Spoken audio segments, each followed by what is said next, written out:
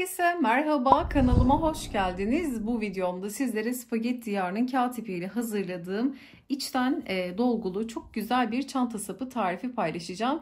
İçerisine dolgulu diyorum çünkü ördüğünüz zaman iç dolgusu kendiliğinden oluşuyor. Bakın şöyle sapı yakından göstermek istiyorum. Çok farklı çok güzel bir çalışma oldu. Gerçekten e, çok keyifle beğenerek çalıştım. Birçok e, çantanızda kullanabilirsiniz. Kağıt iple çalıştınız ya da illaki kağıt iple olmak zorunda değil. Makrome iplerle, raf iplerle de e, ya da daha farklı koton iplerle de bu çalışmayı rahatlıkla yapabilirsiniz. Bakın çok güzel bir sap oldu. Böyle bakın içerisi e, sanki içerisine halat koymuşuz gibi sert bir e, dokusu var. Bu da örme tekniğimizden kaynaklı olarak e, oluşuyor. Gerçekten e, çok güzel bir çalışma. Mutlaka kağıt çalıştığınız çantalarda ya da daha farklı iplerde e, çantalar çalışıyorsanız bu modeli mutlaka denemenizi tavsiye ederim. Adım adım bütün aşamasını sizlerle paylaştım. Umarım faydalı olur. Detaylı tarifimize geçmeden önce sizlerden küçük de bir ricada bulunmak istiyorum. Kanalımıza ücretsiz abone olabilir.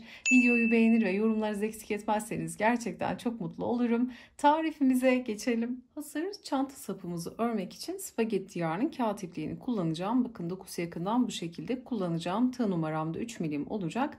Sizler kendi ipinizin inceliğine kalınlığına göre örmenizin sıklığına gevşekliğine göre kendi tığ numaranızı belirleyebilirsiniz. Burada sapımızı örmek için başlangıçta e, bu iple çantamıza sapımızı sonradan monte edeceğimiz için bir miktar ip bırakıyoruz. Ve burada hemen işe zincirle başlangıç yapıyoruz.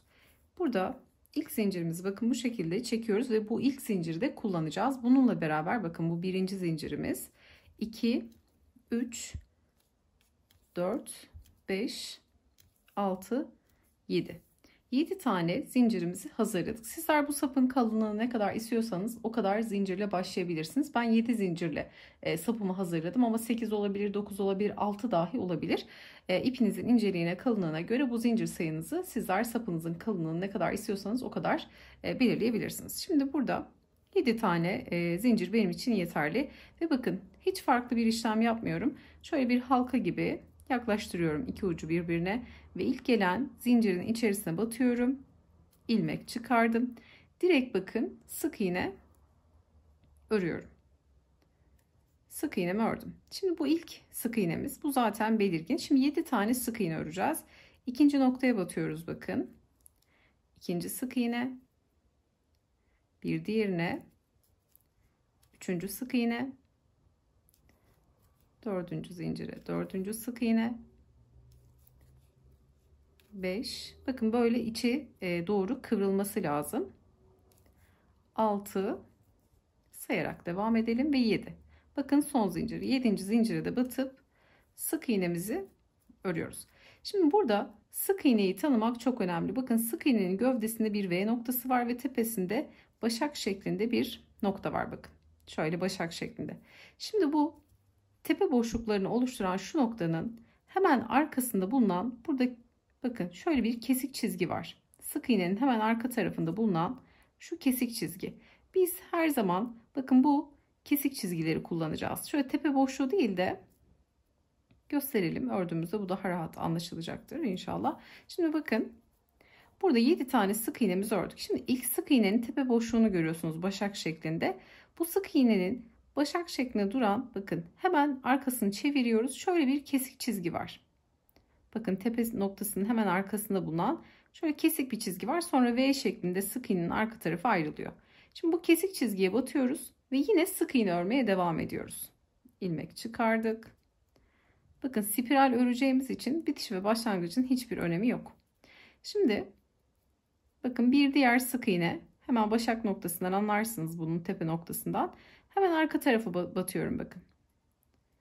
Şu arka kesik çizgisine batıyorum. Sık iğnenin arkasında bulunan kesik çizgiye batıp tekrar sık iğne örüyoruz. Umarım anlaşılıyordur. Ve bakın içeride başak başak böyle içeri doğru kıvrılması gerekiyor. Aslında bu istediğimiz bir görüntü. Ve bakın sıradaki sık iğnenin arka kesik çizgisi hemen batıp bu noktadan şöyle ilmek çıkarıp sık iğnemizi örüyoruz. Ve bir diğer sık iğnenin bundan sonra hep sık iğneler denk geldiği için böyle döne döne örmüş olacağız. Hemen sık iğnenin şöyle baktığımda başak noktasını görüyorum ve arkasındaki kesik çizgi. Bu noktaya batıp sık iğnemi örüyorum. Bakın hemen sık iğnenin arkasında bulunan kesik çizgi. Bunu elinize aldığınız zaman daha rahat göreceksinizdir. Belki bu aşamada çok anlaşılmıyor olabilir. Bakın şöyle düşünün. Şuradaki ördüğümüz sık iğneyi düzleyelim. Bunlar sık iğnelerin tepe boşlukları bakın. Şu noktalar. Bu tepe boşluğunun hemen arkasında bulunan şu kesik çizgi. Bu noktaları kullanarak sık iğnelerimizi örüyoruz. Hemen bir diğer e, sık iğneden göstermek istiyorum bakın. Ördüğümüz sık iğnenin tepe boşluğu. Normalde bakın tepe kısmı burası ve bunun hemen arkasında bulunan şu kesik çizgi. Bu noktaları bakın kullanarak bunu zaten e, gözünüz aşina olacak e, bir zaman sonra çok rahatlıkla görüyorsunuz nereye batmanız gerektiğini. Hemen sık iğnenin arkasındaki kesik çizgiye batarak bu şekilde umarım batacağımız noktalar net bir şekilde anlaşılmıştır. Ben şöyle istiyorum ki bir miktar öreyim. Hatta şöyle elim birazcık sıkmadan öreyim. E, elinizi sıkı tutarsanız e, sapınız daha sert olacaktır ve içeri doğru e, dolgusu olan bir sap yani kendinden dolgulu normalde içerisine halat vesaire de konulabilir örneğin düz bir sık iğneyle örüyorsanız kalın bir sap istiyorsanız ve sert olsun istiyorsanız içine kalın bir halat iplik konulup da e, örülebilir ya da ördükten sonra da yerleştirilebilir çengelli iğne yardımıyla vesaire e, ama bu bunda hiç öyle bir şeye gerek yok kendinden iç dolgulu oluyor bu e, arka tek kanatları aldığımız zaman sık iğnelerin hemen arkasında bulunan kanatlara bat, e, battığımız zaman içeride bakın bir dolgu oluşuyor kendiliğinden. Bu da gerçekten e, güzel bir e, dokuya sahip olmamızı sağlıyor. Bakın. Şöyle istiyorum ki bir miktar öreyim. Çok da hızlı örülüyor. Gözünüz aşina olduktan sonra şöyle bir miktar örün. Böyle küçük bir parçada deneyin. Mantığını kavradıktan sonra eminim ki çok rahatlıkla yapacaksınızdır. Hızlı ilerleyen bir parça ve örümü kolay dışarıda olduğu için Bakın bu kesik çizgiler zaten sık iğneyi örerken içeri doğru kıvrılıyor. Yuvarlak bir parça ördüğümüz için. Siz hiç e, yani ekstra bir kıvırma işlemi yapmadan direkt sık iğnelerin bakın şöyle tepe boşluğu hemen arkasındaki kesik çizgiye batıp bu şekilde sapımızı örmüş oluyoruz. Şöyle bir miktar öreyim. Ördüğüm yeni parçayı da yakından istiyorum ki sizlere göstereyim. Bunu birçok çantanızda kullanabilirsiniz. Upuzun yapabilirsiniz. Daha kısa saplar istediğiniz boyutlarda da rahatlıkla çalışabilirsiniz. Bakın çok çok keyifli ilerliyor. Şöyle göstermek istiyorum görüntüsünü. Ve bakın içi dolgulu. Böyle kendinden içerisine hiçbir parça vesaire koymanıza gerek yok.